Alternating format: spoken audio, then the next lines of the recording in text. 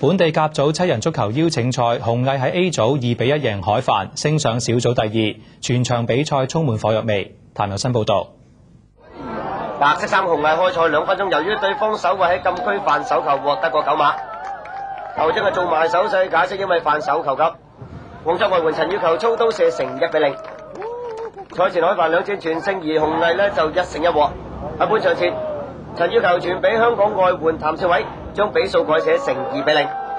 嗰邊係海帆由內地援將謝明華射破今場客串打龍門嘅鄭俊文，将比數追近到一比二噶。可惜餘下時間，雙方口過多个踢波架球證全場共出示兩紅八黃，大家各有一位球員被捉。喺完場之後都係沒完沒了噃，搞到主場特警都要出埋力，咁啊為咩呢？不如睇翻啲真正比賽仲好啦。同組綠白色衫嘅大同，經過咗三場之後啊，終於可以以六比零大勝機聯啦。